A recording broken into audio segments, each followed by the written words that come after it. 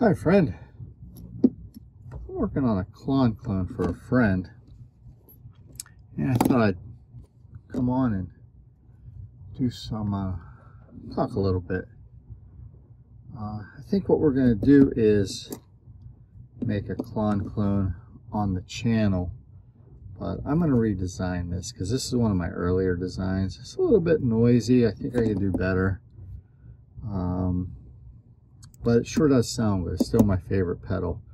Uh, here's one that I got completed.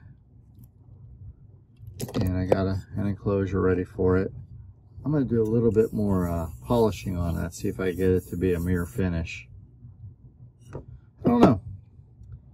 But right now what I'm doing is just populating this board.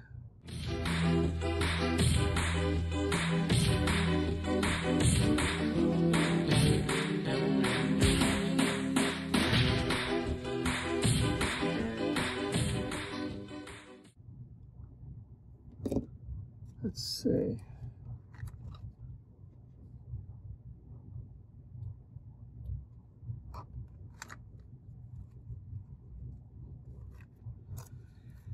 Yeah. Uh, I'm still waiting on the PCBs for the real tube build. Uh, I did look at it a little more and it's it's pretty well messed up. Whoever had it before me really did a number on it. Well, mad. I got it for a good price. Just uh, it's frustrating when you can't get down in there and uh, get the, get the uh, parts taken out. Uh, I'm sure it's that added op amp. It's it's in there very very. The solder is very blobby. I think there's some uh, traces that are, or not traces. There's some uh, solder bridges, but just can't get in there the way it is until I take it completely apart, which I eventually will. I just want to get the uh, the clone of it built first.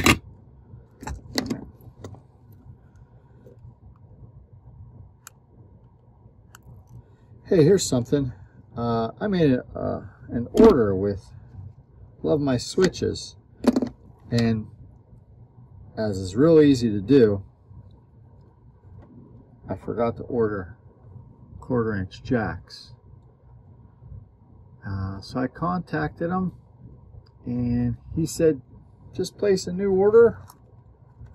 I'll add them to the box and I'll bump the, I'll bump the, uh, oh no. He said I'll bump the uh, shipping charge off the second order. Uh, I don't have a 1.5. Let me see. These will work two of them. I'm sure I have 1.5s in here. Well, it looks like I'm going to order from Tayda today, too. That's alright. 2.2. Let's see what's at the bottom there. Nothing. Alright. I have these uh, 1.43 kilo ohm resistors that I'm going to use in place of the 1.5s. They're still metal film. I trust them. That's it with uh, when you're putting a pedal together. A lot of times close enough is even better than the perfect ones. Let's measure them, see what they run.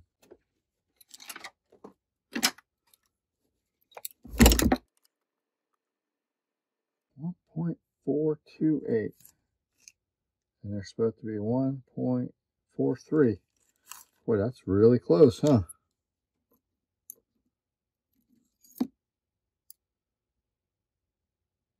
Point four two eight. These are dead on.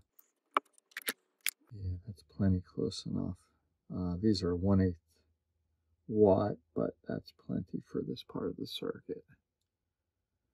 All right, we're looking for R7 and R8 on here. Where are they? Here's R7.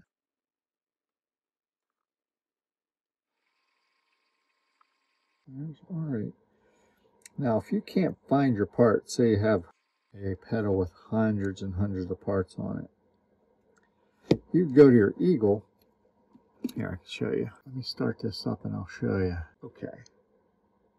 What I'm going to show you is if you can't find a part on your PCB, say there's hundreds and hundreds and these are a lot smaller, you could type in the bar up here, show R8 and it'll highlight it. See it right there? That's another tip. Eagle's pretty good at having great features. I did look into trying KiCad, however you say it, K-I-C-A-D. Um, it seems so much more involved to get a simple board going. A lot more steps. Of course, if you didn't have the parts libraries that Eagle has, it would be probably about the same number of steps. But for now, I'm just going to stick to Eagle. Dip Trace is another one I wanted to look at. Uh, I haven't got a chance to yet, but that's going to come soon. Let's see, I got those in there. Yeah, if you have a component that's a little bit off, you could still use it. I'm not a harsh stickler for demanding that every component be perfect. Um, sometimes that's part of the charm between pedals. Yeah, I would say that this 1.42, oh, I'm sorry, 1.43K is close enough to a 1.5K that nobody's going to complain. And there's tolerances anyways. These are uh, 1%, but it's it's close. Well, I'm going to continue with this. See this? I have the uh, charge pump in there. That gives you the negative voltage and the doubling of the 9 volt. Uh, it's approximately 18 volts. Let's see. I'm going to plug this in and we'll see what the uh, what the voltage is on the. Let's see here. We'll just hook this one up to the ground here. Not the black one. That'd be nice, huh? That one up there. And we're just going to go to each one of these. Let's see, we need DC voltage 20. Let's see what we're doing here. Number one is 8.47 volts. Number two, 4.8. Pin three is zero. Pin four is negative 3.4. Let's get on pin five. Negative 1.5. Pin six is 363. Pin seven is 5.13 volts and pin 8 is 8.49. See, now we have to go through these diodes here to get the doubling. So let's see what the, we have on. We're at 849 there, 12.5 there.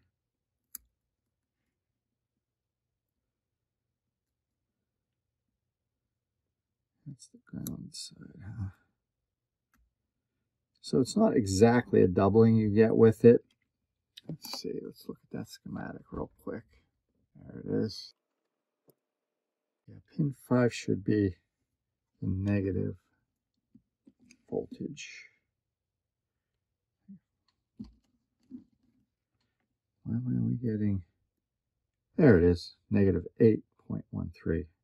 Doesn't give you exactly 9 volts negative, let's see, where is coming off pin 1 and 8 goes to the diodes, and the center of the diodes should give you the 12 and a half volts. It's not exactly double, but it increases the voltage on that last op amp in the Klon circuit. Gives you a lot more headroom. But charge pump's pretty interesting thing to work with. we'll get into that when we get into the Klon build. But I'm going to continue with this.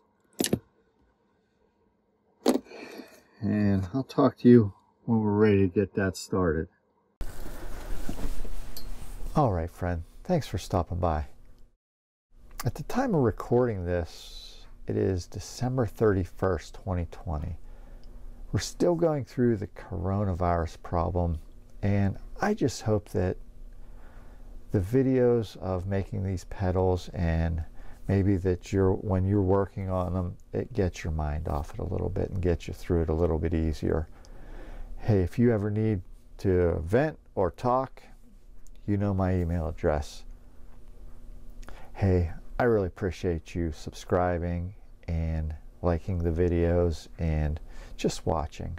It's just it's amazing to me and just thanks so much. Have a great day